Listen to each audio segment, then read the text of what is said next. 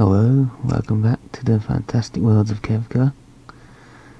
Here, I'll be showing you the basics of playing a Yu-Gi-Oh! TCG duel. Now the aim is to win the duel, and you can do that primarily by reducing the opponent's life points to zero. Each player has 8,000 life points to begin with, and a deck of between 40 and 60 cards. So the basics here are each player will initially take 5 cards from their deck. Now, no one is allowed to look in the deck, and only the player is allowed to look at their own hands. So here I've got 5 cards to begin with. Now what you'll be doing is you draw a card and then you'll be able to summon monsters, cast spells, or place traps down. Then you would normally attack with your monsters. Once you've done attacking and finished playing any spells or traps or other effects, you will then end your turn and the turn will passed over to the opponents. Now the most basic way of fighting with your monsters is firstly to have them on the battlefield. So, each turn you're able to normal summon one monster from your hand. Now the monster cards are normally the brown or yellow coloured So for example, I'll summon this battle footballer.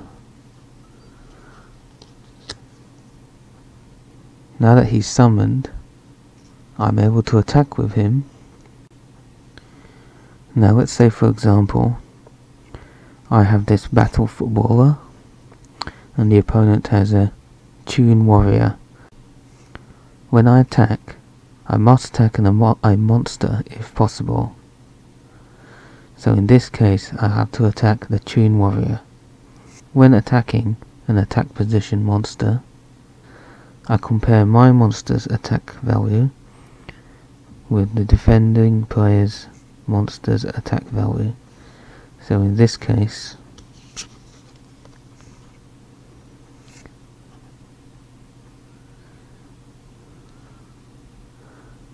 my battle footballer has an attack value of 1000 and the opponent, monster, the Tune Warrior,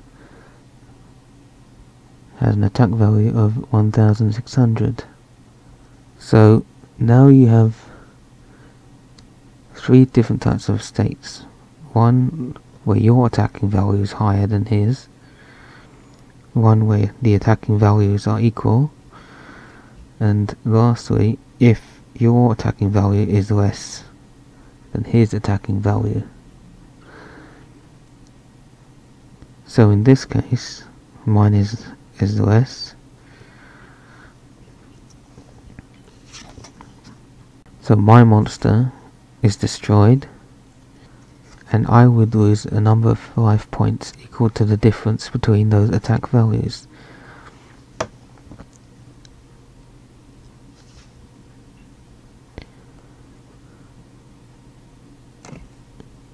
In this case, I would lose 600 life points. So now that my monster has been destroyed, I have to put it into my graveyard zone, which is another location on my battlefield. So that wasn't a very sensible play. But if I had effect cards to increase this monster's attack, to over 1600 attack value, I'll be able to destroy the opponent's monster. So, for example, if I had summoned a Blazing Inpachi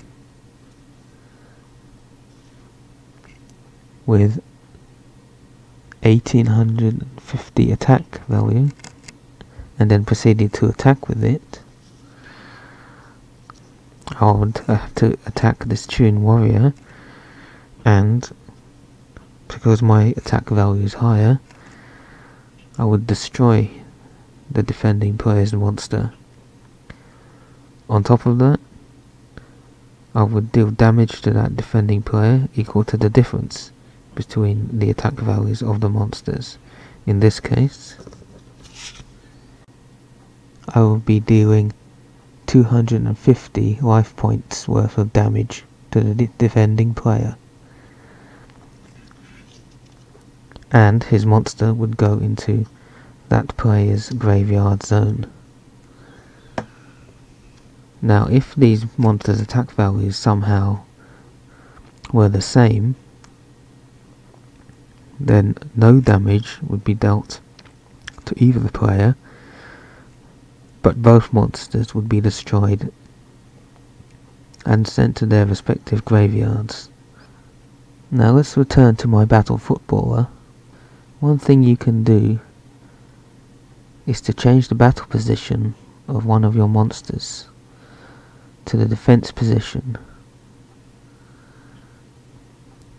And you do so by rotating the card 90 degrees.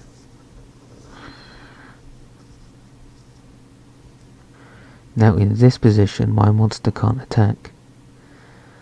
But if he is attacked by a defending player's monster, then his defense value is used instead of his attack value. So, if he attacked with the Tune Warrior, targeting my battle footballer, he would compare his attack value of 1600 against the defense value of my defending monster which is 2100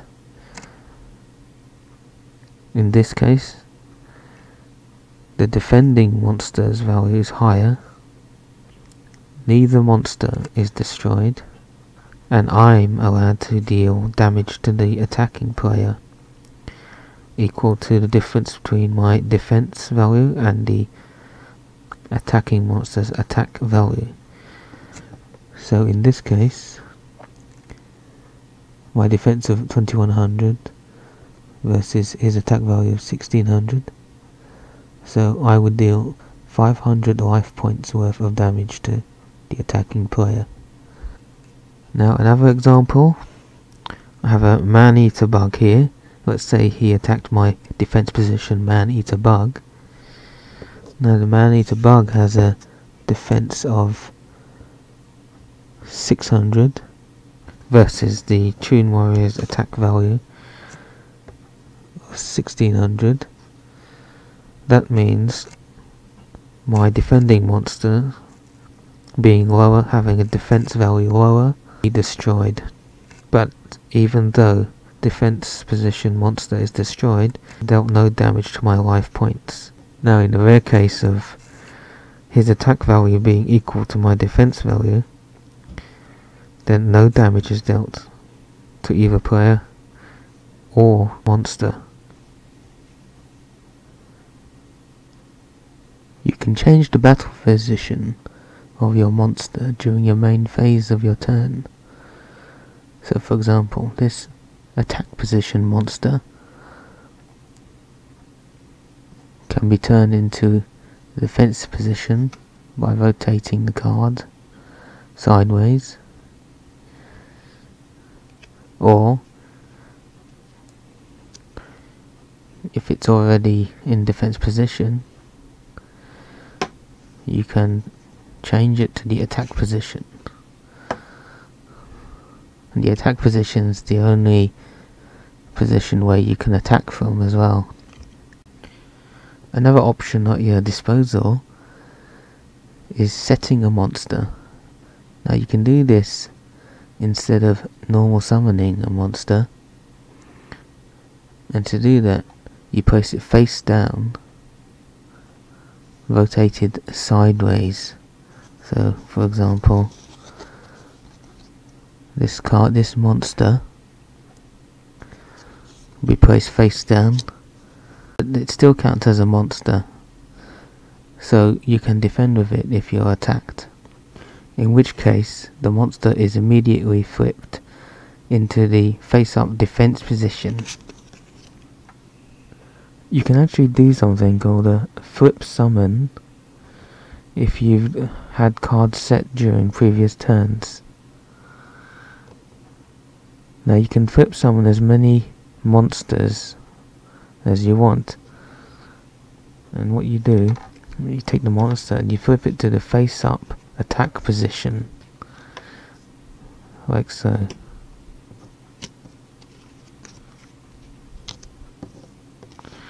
So I'm just going to flip some summon all of these.